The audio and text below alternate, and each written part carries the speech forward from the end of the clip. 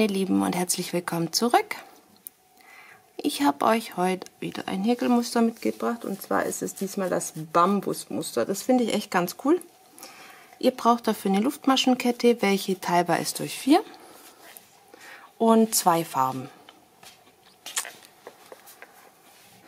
Äh, die Farbe, in der ihr anfangt, könnt ihr euch natürlich aussuchen. Das ist natürlich eure Sache dann. Wenn ihr die Luftmaschenkette habt, teilbar durch vier, dann macht ihr in die vierte Luftmasche ab der Nadel noch ein Stäbchen, also 1, 2, 3, 4.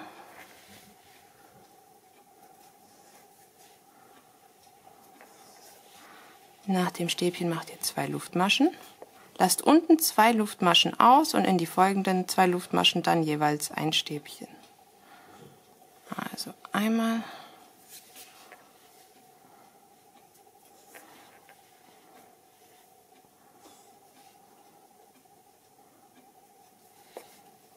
zweimal.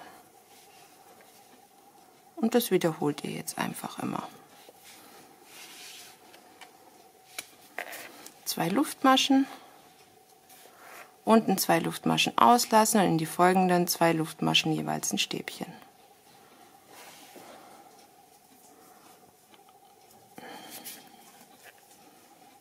Einmal, zweimal. so lange, bis ihr am Ende angekommen seid. Da eins, zwei und in die letzten beiden noch zwei Stäbchen. So. Jetzt ist es wichtig dann, ob, jetzt ist es dann wichtig, dass ihr dann die Schlaufe hier von dieser Farbe sichert. Und zwar diese hier. Entweder zieht ihr die wirklich ganz lang oder ihr macht einen Maschenmarkierer rein oder irgendwas, was halt stoppt, dass ähm, der Faden sich nicht wieder da zurück durchziehen kann.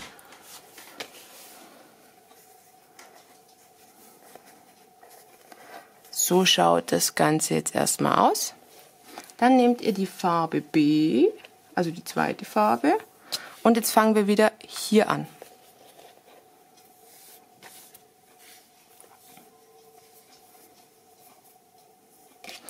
Ihr könnt jetzt erstmal entweder extra eine Schlaufe machen zum Beispiel oder gleich ohne extra Schlaufe anschlingen.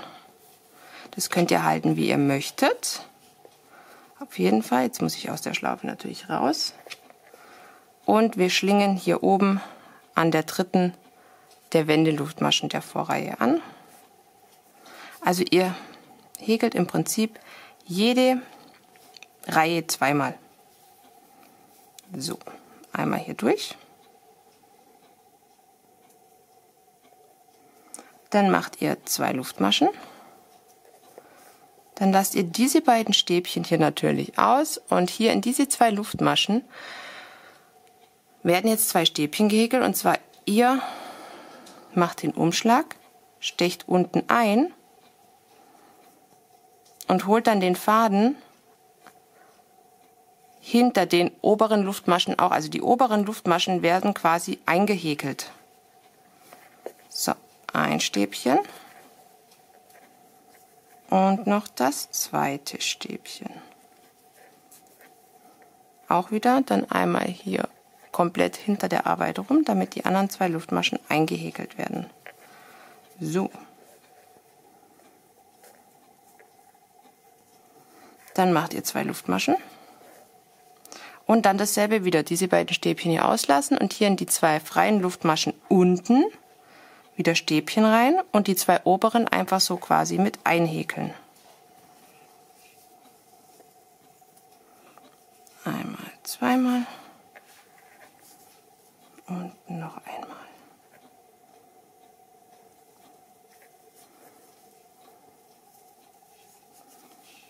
Noch ein Stäbchen.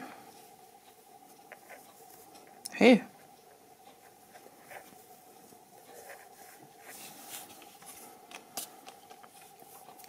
Danach wieder zwei Luftmaschen. Eins, zwei und wieder in diese beiden Luftmaschen hier ähm, jeweils ein Stäbchen hier unten und die oberen zwei wieder mit einhäkeln.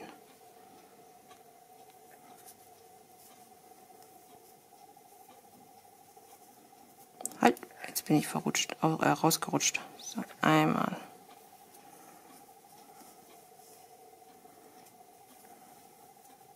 Und zweimal.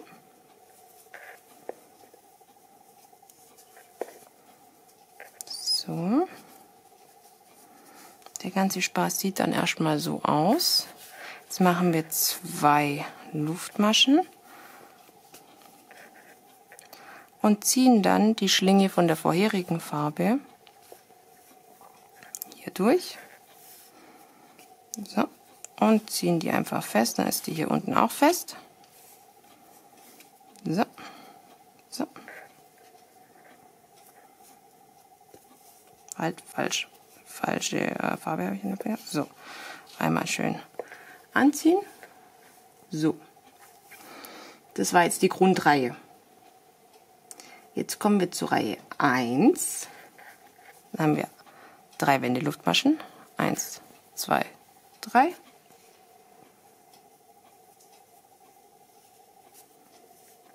So. Jetzt machen wir ein Stäbchen hier in das untere Stäbchen natürlich und häkeln hier oben das, die Luftmasche wieder mit ein. Gucken, dass ich ins Richtige einsteche. So. Und noch ein Stäbchen häkeln. So. Dann natürlich zwei Luftmaschen. Die zwei lilanen Stäbchen auslassen und dann wieder hier in diese zwei rosanen Stäbchen, jeweils Stäbchen. Das rollt sich ein bisschen ein, deshalb müsst ihr immer ein bisschen gucken, aber das ist eigentlich nicht schlimm. Und die oberen zwei Luftmaschen werden wieder eingehäkelt. So. Einmal.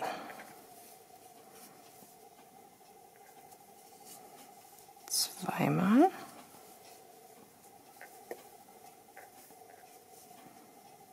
Dann wieder zwei Luftmaschen, dann wieder in die nächsten Stäbchen. Einmal.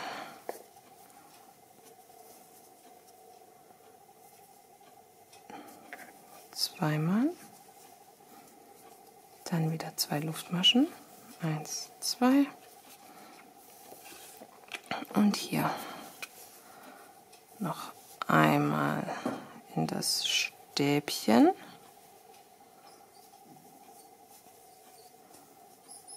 Und dann einmal nicht streiten. Ich mache hier gerade Video. Und dann noch ein Stäbchen in die dritte der Wendeluftmaschen, wo wir vorher die andere Farbe auch schon angeschlungen haben. Da ist aber noch Platz, da passt noch ein Stäbchen rein. So. Dann die hier wieder sichern.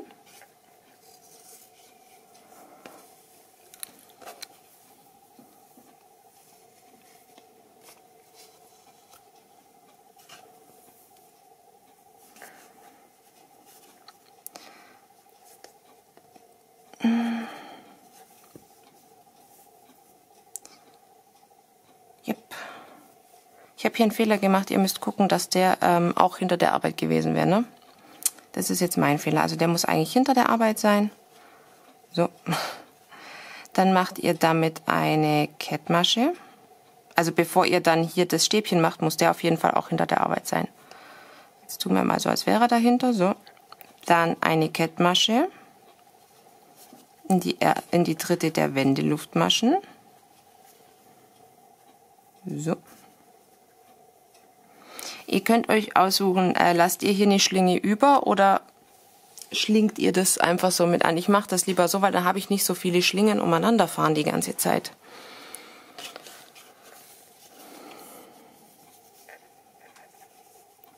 Dann zwei Luftmaschen.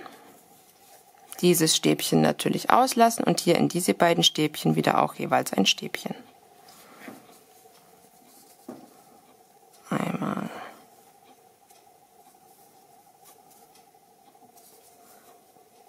zweimal. Ich weiß nicht, ich muss sagen, ich finde das Muster ganz cool, aber ich weiß nicht, äh, dass das wirklich gut ausschaut. Das ist schon irgendwie so ein gutes Stückchen Arbeit. Ich habe das mehrmals gemacht und es sah irgendwie jedes Mal irgendwie anders aus. Weil ich halt variiert habe, auch mit dem, wie fest ich gehäkelt habe, wie fest ich den Faden angezogen habe und alles.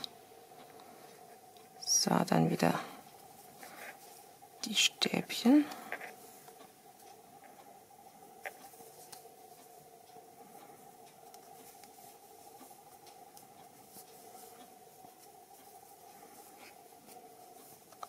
Eins, zwei, dann wieder die Stäbchen.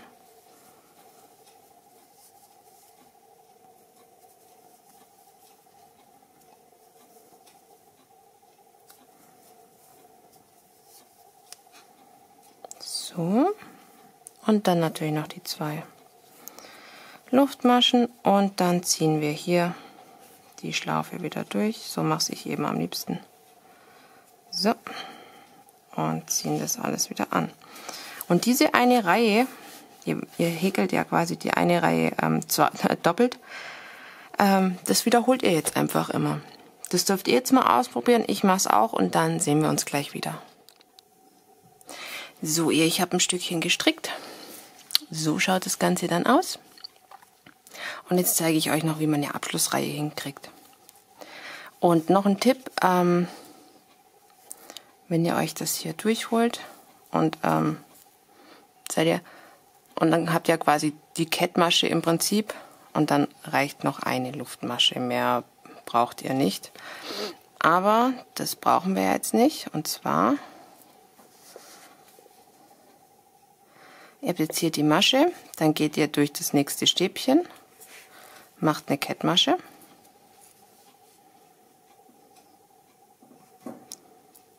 Dann macht ihr hier die Stäbchen ganz normal rein.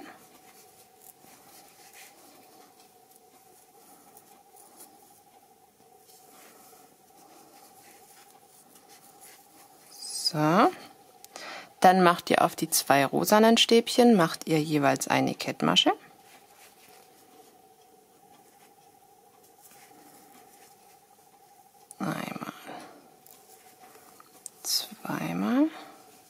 Dann wieder zwei Stäbchen hier in die Stäbchen.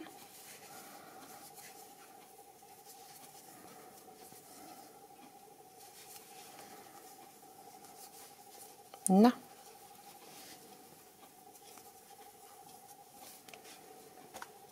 Dann wieder in die zwei rosanen Stäbchen jeweils eine Kettmasche.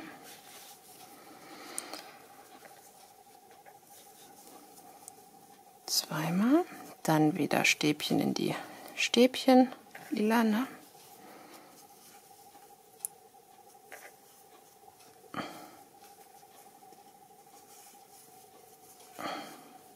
So, dann in das folgende Stäbchen noch eine Kettmasche, dann die Schlaufe von der anderen Farbe durchziehen. Könnt ihr die ein Stück weiter abschneiden. Das muss dann natürlich noch vernäht werden. Und dann würde ich euch empfehlen, dadurch, dass das hier ja nicht ganz so schön aussieht am Rand, ähm, würde ich einmal noch mit der ersten Farbe einmal drumherum gehen, damit es einfach ordentlich aussieht. So könnt ihr zum Beispiel auch hier die, ähm, die übrigen Fäden verhäkeln. Ich mache eine Luftmasche erstmal und dann kann man einfach ganz schön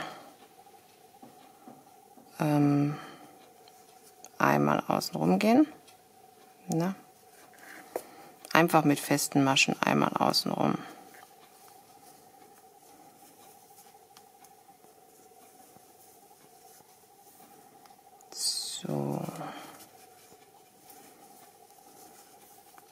Dadurch, dass das ja sowieso die Außenfarbe ist, gut, ihr könntet auch mit dem Lila außenrum, aber dann geht euch dieses äh, eine Stäbchen ab ganz außen und das wäre auch ein bisschen ärgerlich dann, finde ich. Ey, ich will doch eine feste Masche. Also einfach einmal dann in festen Maschen außenrum, dann sieht das Ganze nochmal ein Stückchen ordentlicher aus.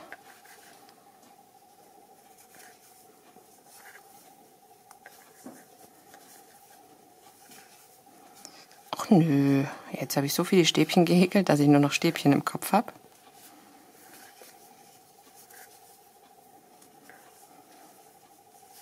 Ihr könnt es natürlich auch so lassen, wenn ihr die irgendwie, wenn ihr das irgendwie zusammennähen wollt oder so, aber ansonsten würde ich euch wirklich empfehlen, da noch einen Rand hinzumachen, damit es einfach schön und ordentlich aussieht. So, jetzt habe ich mal ein bisschen vorgemacht und dabei geplappert. Also ihr könnt jetzt entweder könnt ihr das so machen. Ihr macht einfach in jedes Stäbchen drei feste Maschen. Also ihr seht hier, ihr habt hier einmal einen Querfaden. Hier. Ihr macht eine feste Masche vor dem Querfaden des Stäbchens und zwei danach. Zwei. Ich zeige euch jetzt gleich noch aber, wie ihr es auch anders machen könnt noch. Dann habt ihr immer wie so eine Art Bogen. Ihr könnt aber auch noch, ähm, ich zeige es euch hier jetzt beim letzten, ähm, hier noch in die Mitte einstechen, wo eben auch das Lila mit drin ist.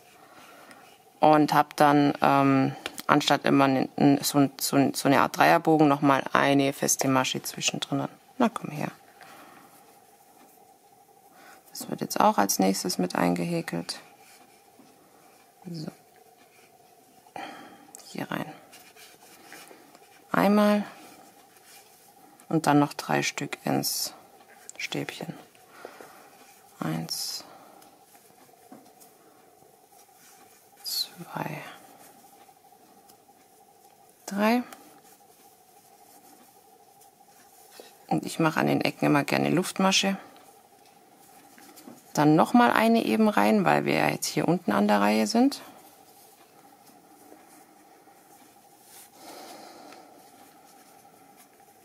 Und dann einfach in den unteren Teil noch der vorherigen, also der Anfangsluftmaschenkette einstechen. Wie man umhäkelt, das wisst ihr ja sicher alle. Also eigentlich brauche ich es euch nicht zeigen. Das sieht dann so aus. Ich muss sagen, mir gefällt das Muster eigentlich schon irgendwie gut, aber irgendwie ist es auch gar nicht meins. Ich weiß auch nicht. Ähm, ob ich es wirklich mal für irgendwas benutzen werde, ist fraglich. Also für ein Ding werde ich es auf jeden Fall nutzen, deshalb zeige ich es euch ja mitunter auch. Klar, erstens zeige ich euch so oder so die Muster und Techniken, aber gerade jetzt sind es ja so viele auf einmal, weil ich ja damit auch etwas vorhabe. Von daher, irgendwann kann man die hier hinten abschneiden. Von daher zeige ich euch jetzt gerade wirklich so viele auf einmal. Weil ihr wisst ja, sonst war es eigentlich abwechslungsreicher bei mir. Mal kam sowas, dann mal wieder ein Dreiecktuch, dann mal wieder eine Mütze oder so. Aber das hat schon alles so seinen Sinn, wie es sein soll. Von daher dürft ihr euch überraschen lassen und gespannt sein, was dann ähm, da kommt.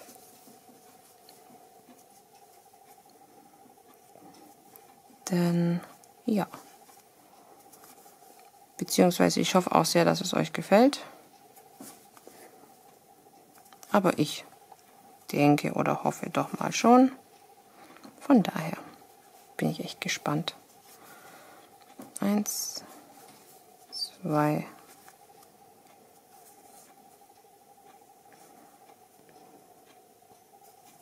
3. Jetzt kann ich euch das gerade noch mal schnell zeigen. Ich habe die 3 in das Stäbchen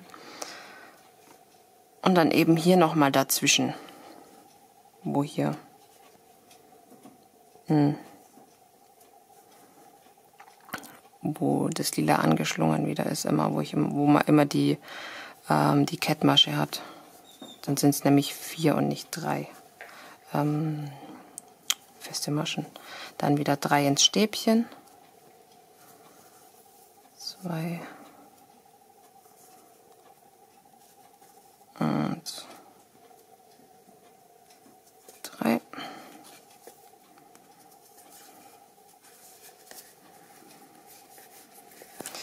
Das muss man dann natürlich wirklich noch richten und spannen, damit es dann auch wirklich ordentlich aussieht.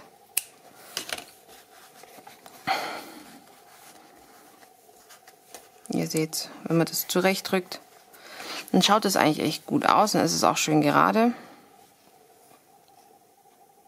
Ja, den Faden noch mit dahin. Ach, doch nicht schon wieder ein Stäbchen, Mensch. Kind, was machst du? Jetzt machen wir den mal noch schnell zu Ende.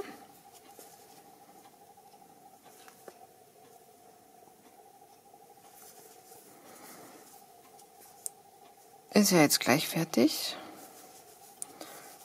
Eins, zwei und drei.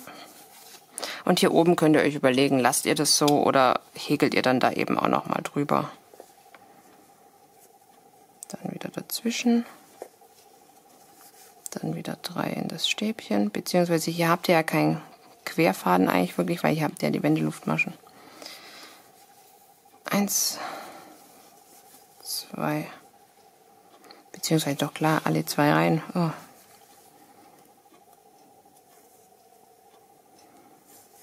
Ich bin schon langsam, mit, mit, mein Hirn ist gerade irgendwie echt matsch. Und dann hier noch die letzten. Und dann haben wir es geschafft. Wie gesagt, das muss dann halt noch gespannt werden. Müsste. Und ich habe es auch jetzt ziemlich fest gehäkelt, muss ich äh, zugeben. Von daher, ja. Gut, aber ich würde sagen, das war's dann für heute. Ich hoffe, es hat euch gefallen. Ich hoffe, ich konnte es euch verständlich genug erklären. Wenn ihr noch andere Ideen habt, ähm, um den Rand zu verschönern oder so, dann immer raus damit. Ihr wisst ja, ich freue mich. Und dann würde ich sagen, ich wünsche euch jetzt ganz viel Spaß beim Nachmachen, beim Ausprobieren und beim Üben. Habt ein schönes Wochenende, noch einen schönen Tag. Bleibt mir ja gesund und bis zum nächsten Mal. Bis dann. Tschüss.